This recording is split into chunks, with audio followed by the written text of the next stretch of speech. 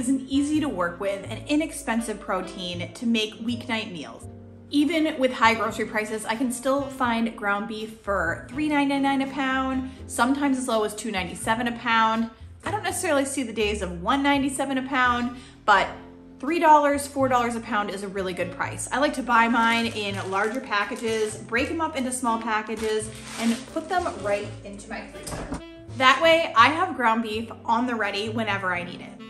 So it's super helpful to have an arsenal of recipes ready to go. And today I'm sharing some of my favorites with you. This first one is Make That Again hamburger casserole, and I love myself a make ahead casserole that is super easy. One of my go-to tips for nights when you just don't feel like cooking is to use a bag salad mix and frozen garlic bread. So I just added that to that, and it really brought things up a notch. I was able to just get this casserole started earlier in the day so that when it was time to eat, I could just pop it in the oven. I just browned up some ground beef and boiled some bow tie pasta. You can use whatever type of pasta that you like. And once my beef was done browning, I drained the fat and then just added a little bit of the Auntie Nono's everything seasoning. You can just use garlic powder, salt, and pepper for this as well. For the casserole, you can just grease and mix everything right in the casserole dish so you have less dishes. You want about a cup of cheddar cheese and a cup of mozzarella cheese. Then one can of tomato soup. And the recipe actually called for two. I didn't have two, so I just ended up adding in a little bit of marinara sauce instead. But if you just have two cans of tomato soup, that'll do it. I ended up adding extra stuff because I had some Alfredo sauce and I ended up having some like a little bit of like Rotel left over and some regular tomato sauce. And I was like, I'm going to throw that all in there because it's just, how, how can you go wrong with that stuff? I had it on hand and I just didn't want it to go bad, so I might as well use it, right? So it's just a reminder to, you know, if you want to add things to recipe, just go for it. And then you just mix in your pasta right into that casserole dish. This made a full 9 by 13 was a little bit, um, you know, full to mix, but I still didn't want to use an extra bowl. I still felt good about the fact that I was just using one casserole dish and making it easy on myself. And then you want to top this with about another cup of mozzarella and cheddar and cover it in tin foil. And we're going to bake it at 375 degrees for about 35 minutes. And then you can take the tin foil off and cook it for another 10 minutes to really brown up the top. This was a huge hit. I just served this with a bag of Caesar salad mix and some Texas toast, and the family loved it. We uh, kind of like the pulled pork, couldn't couldn't stop eating it, kept going back for seconds. But the good news with how much there was in this casserole is I had a day's worth of leftovers, so my husband had lunch for the next couple days, and Benjamin actually loved it for lunch as well. 10 out of 10. Is that good? Mm-hmm. How about the salad? Mm, uh, 10 out of 10. How about the garlic bread? 10 out of 10. What do you think, Tommy? Garlic bread, 10 out of 10, 5 out of 5. Are you gonna try the pasta too? This next meal is called 15 minute one pot lasagna.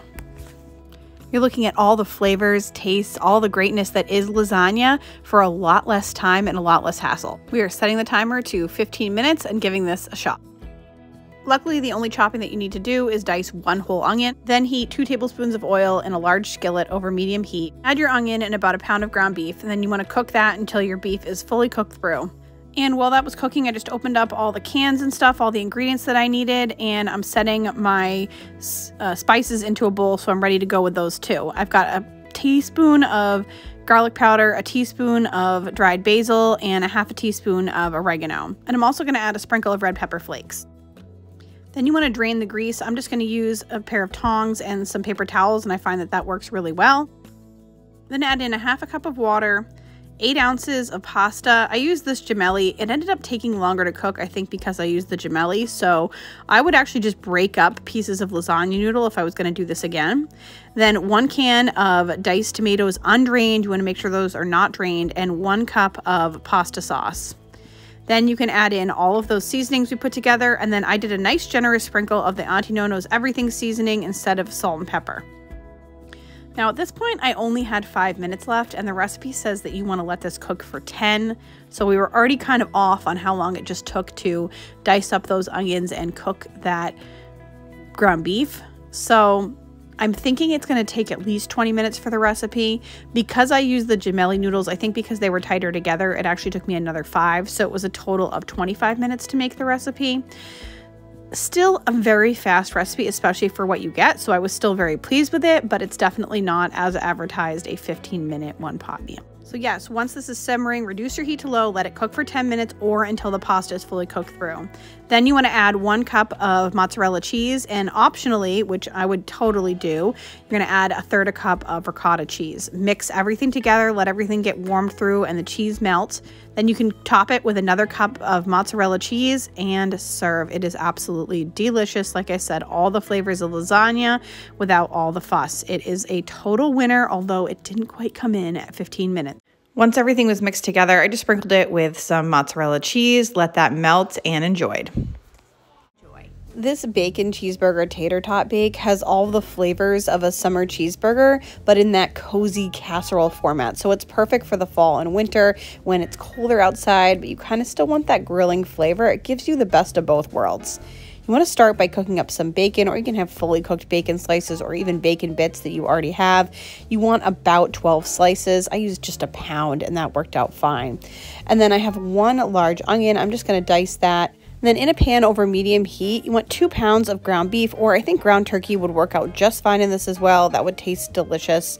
And you want to brown that with about a cup of the onion. So you do want to set aside some of the onion because we're going to put some raw onion on top, kind of like you would on a cheeseburger. And you cook that until the beef is no longer pink and is tender. That took me about eight minutes. Then you do want to drain off your meat. Add in one tablespoon of Worcestershire sauce, one tablespoon of dry mustard, about a cup of tomato sauce. I think it just meant like plain tomato sauce, but I had like marinara sauce in my fridge that I wanted to use up. So I used that, you know, more flavor, no fail. And then eight ounces of Velveeta cheese, or I ended up using the Clancy's Aldi version of Velveeta. So you can even just use the generic brand and it'll work out totally fine. And then you cook that all together and you really just want to melt down that cheese and make sure everything gets mixed well. That's going to take another six minutes for that to melt. You want to grease a 13 by 9 pan and pour in your beef mixture. I'm going to sprinkle that with your pound of crumbled bacon and then two cups of cheddar cheese. As always, I'm using like the last bits of one type of cheese and the rest of another. And hey, we're not measuring because we have the cheese on hand. Also, if you had less cheese or you want to change the type of cheese, it's going to be totally fine. This is a very relaxed recipe. You can you even use whatever your favorite type of cheese is to put on a cheeseburger. I bet American slices might be pretty good too. And then we're going to top this with frozen tater tots. So you just want to layer them in rows and this is also a great make ahead meal. So if you wanted to, you could put the tater tots on either last minute or you can even put them on now and then put it in the fridge. I think it would be fine. It might cook a little bit faster, but it's up to you how you want to do it. And then we are going to bake this at 400 degrees for about 35 to 40 minutes. And I actually did make this ahead. So I made it. I told my husband to put it in the oven at a certain time because I had taken my kids to a doctor's appointment. It came out of the oven right before we got back. It was perfect. And then I just topped it with some chopped pickles tomato and onion. So you want to use the rest of your onion that's left over. About one Roma tomato is what I used, and about a third a cup of chopped pickles. And that really just adds all that flavor to it. Kind of makes it more of like that fast foody flavor. So if you're not into that, you totally don't even have to put that over the top, but I feel like it really adds something extra and the whole family was loving on this. This is a big win. It's like I said, it's like that comfort food, but it's also something that you already know, and it's uh, it's a great comfort casserole. What do you think, JJ? Can you give it a rating? Um, a 10 out of 10. Really good. hmm That looks like a raisin. okay, for this recipe, I chose what is called a hamburger pie. We're just gonna get started by chopping up an onion, and that's the only like work that we're gonna need to do here. Forgive me, this is one of those days where I need to clean the, the cooktop, but it's just, we're already cooking, so we're just gonna leave it because reality is. So I'm just using what I have on hand, and I've got beef here. Pulled this out of the freezer. So I bought ground chicken, and the only issue with me is I don't really, because I have other recipes lined up within the same meal plan, I don't really have the ability to kind of cook the rest of the ground turkey and the ground uh, beef. And since I already had these in the freezer and then took them out of the freezer, I can't freeze them again. So I'm just gonna cook a pound of each. But yes, the original recipe is just a half pound of each and that definitely would make it more budget friendly. And let's not forget our onions. The next part of this, this is super pantry friendly and easy, is we're just making box mashed potatoes. No, I don't have the complete potatoes, so we're gonna pour in the flakes, then a half a cup of milk, and I put uh, two tablespoons of butter in here with salt, water. You know, I followed the instructions on the non-complete potato flakes, but if you have complete potatoes, even easier, just add water. And then we're gonna put that kind of over the top of the casserole, but we're not done with the insides yet, so hold on. To this, we're adding two cans of French style drained green beans and a can of tomato soup. Again, things that you probably already have in your pantry. Easy peasy. My only thought is because I'm doing an extra pound of meat, if I should add extra tomato soup. I'm gonna give this a stir and see how I feel. I definitely don't wanna under season it. So I don't think that you have to add another can of soup, but I'm going to because I think it's just gonna give it more flavor and make it even more delicious. All right, I ended up just adding half a can, which is really perfect. Like if I added more, I feel like it'd be too soupy and the flavor's great. So it seems like I'm gonna be having a grilled cheese and tomato soup tomorrow, which I'm not mad about. That sounds like a good lunch to me. And we're just gonna pour this in a casserole dish, probably nine by 13. I might need to go bigger just because I put so much meat in here. We're gonna cover it with our mashed potatoes and then sprinkle on some shredded cheddar cheese. The great thing about this is you can make as much or as little mashed potatoes as you want really. So I just made four servings and then spread it across. This could very easily feed eight to 10. It's just not heavy on the mashed potatoes. But when you're making a, a potato, you know, um, instant mashed potato, just load it on. If you wanna do that or go less, your choice. And then same with the cheese. You can put as much or as little as you want on. I'm using shredded cheddar, but you could use mozzarella, Colby Jack, whatever you have on hand. So since the bottom of this is already warm, everything but the cheese is kind of cooked. We're gonna put this in the oven at 350 degrees until it is hot, bubbly, cheesy, which is gonna be probably about 20 minutes is my guess, but we're gonna check on it in 20 and see. So I definitely know that it's ready. it's exactly what you said. It'll be bubbly and ready. It's ready. Looks delicious.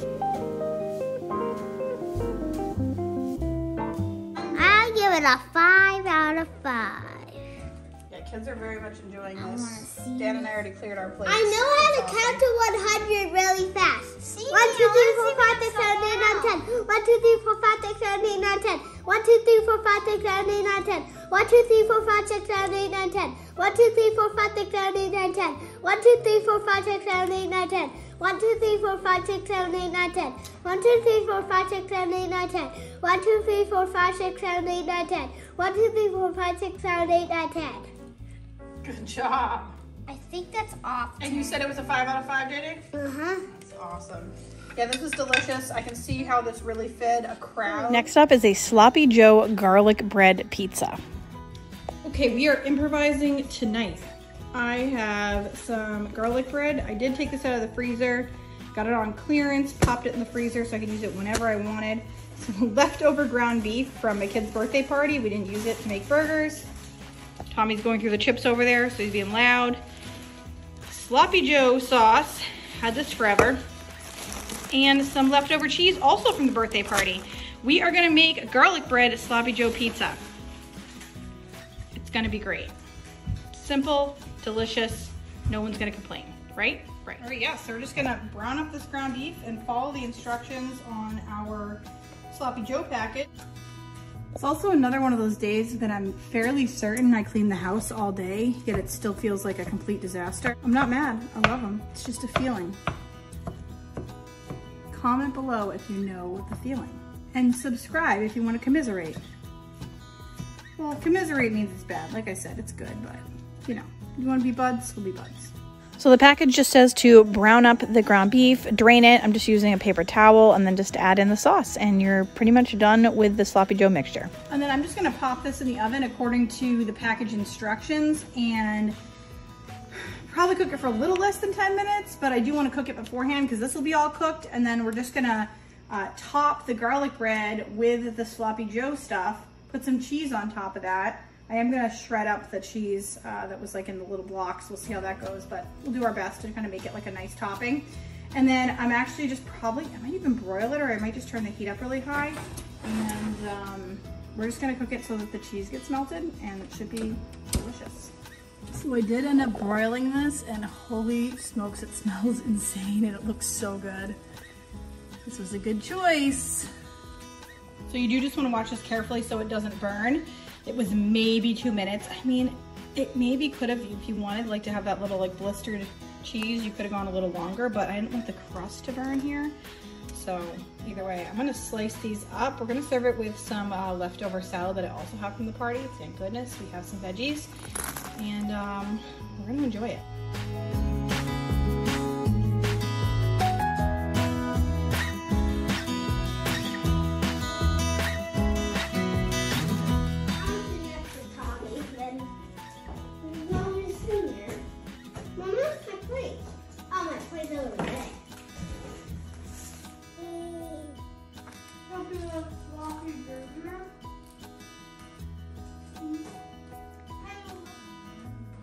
You want to give it five? Five? High five? Alright, here's this.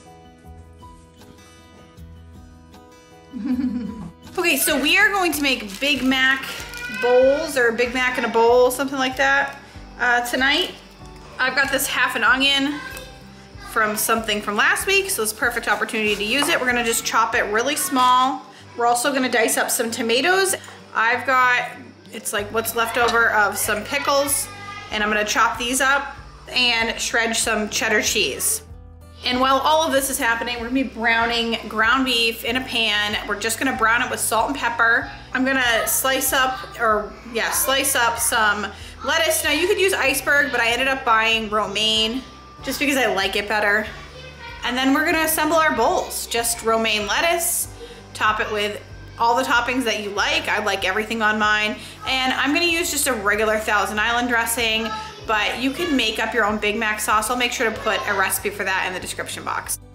These were so good. I highly recommend giving them a shot. Pretty much anything with the name Big Mac in the name is going to be delicious. And the kids loved them too. Tommy even said, he's like, next time I go to McDonald's, I'm getting a Big Mac. He's finally understanding what a Big Mac is, but quite good and also pretty healthy. This one's going to be the last one for this video, but no worries. I have a whole playlist of cooking with pantry friendly ingredients right here. Check it out.